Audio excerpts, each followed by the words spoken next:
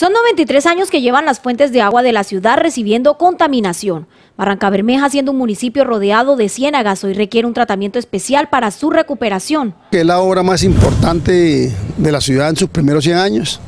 Estamos hablando que llevamos 93 años contaminando nuestras fuentes de aguas. La ciudad es un cuerpo lacustre rodeada de ciénagas, pero lastimosamente eh, todas están contaminadas.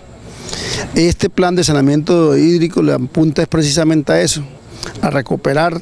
esas fuentes de agua, eh, la ciénaga Miramar que se encuentra en el corazón de la ciudad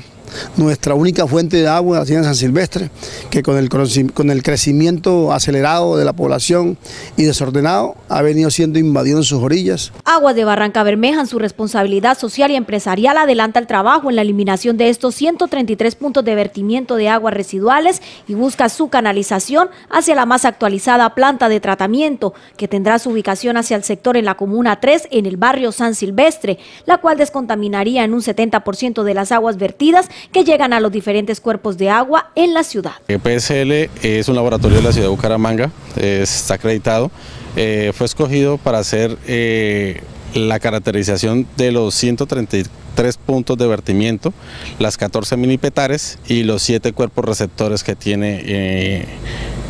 el proyecto del PSMB para el pago de la tasa retributiva en el área metropolitana de Barranca Bermeja. Cinco fases contempla la ejecución del plan de saneamiento y vertimientos hídricos para el municipio. Una fase 1 que corresponde a la construcción del colector ferrocarril, el cual se encuentra ejecutado al 100%, obra que fue terminada en el año 2012, eh, con una inversión de 37.600 millones de pesos. Este colector es el que va a conducir las aguas residuales hacia la futura planta de tratamiento San Silvestre. Eh, una fase 2 que corresponde al diseño, construcción y operación de la planta de tratamiento San Silvestre, eh, ya tiene cierre financiero por 123.500 millones de pesos que incluye la interventoría y el emisario final una fase 3 que corresponde al tema de los colectores, la construcción de los colectores, dentro de ellos ya tenemos construidos el colector suroriental con una inversión de 8.500 millones de pesos. El Departamento Nacional de Planeación aprobó recursos por 22 mil millones de pesos para llevar a cabo la construcción del colector de la Comuna 4 para el tratamiento de las aguas negras que recaen en la ciénaga Juan Esteban. Tenemos también los colectores de la Comuna 4 eh, que están radicados ante el gobierno nacional para acceder a 20 mil millones aprobados ya a través del contrato Plan Santander.